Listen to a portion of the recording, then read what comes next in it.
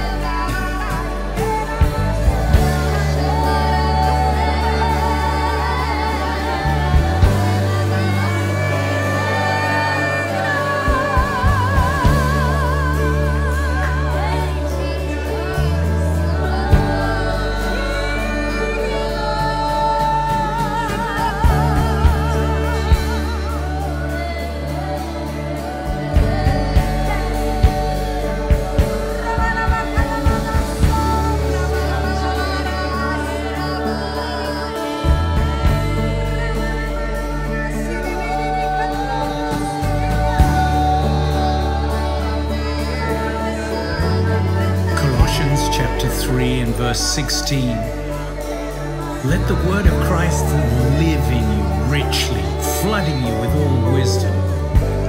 Apply the scriptures as you teach and instruct one another with psalms and with festive praises and with prophetic songs given to you spontaneously by the Spirit.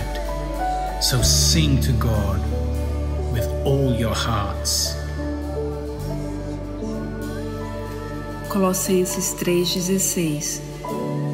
Deixe a palavra de Cristo viver ricamente em você, inundando-o com toda a sabedoria. Apliquem as Escrituras enquanto ensinam e instruem uns aos outros, com salmos, com louvores festivos e com cânticos proféticos dados a vocês espontaneamente pelo Espírito. Então cantem a Deus de todo o coração.